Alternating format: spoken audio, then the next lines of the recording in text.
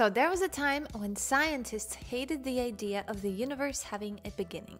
Not because the evidence wasn't there, but because it felt a little bit too much like religion, a moment of creation.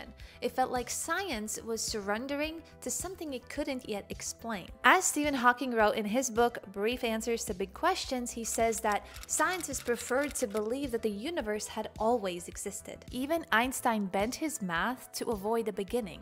Other scientists mocked the idea with a name used as an insult the Big Bang. A universe that just popped into being? That's too mystical, too close to faith, not scientific. But here's the thing today we know that the universe had a beginning, not because we think God created it, huh? but because we have evidence that proves it. The universe is expanding. So if you trace back expansion backwards, it leads to a singularity, a starting point. The Big Bang is no longer a wild theory. It is backed by cosmic microwave background radiation, redshift data, and more.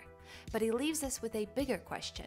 We live in a universe that didn't always exist. So, how does something come from nothing?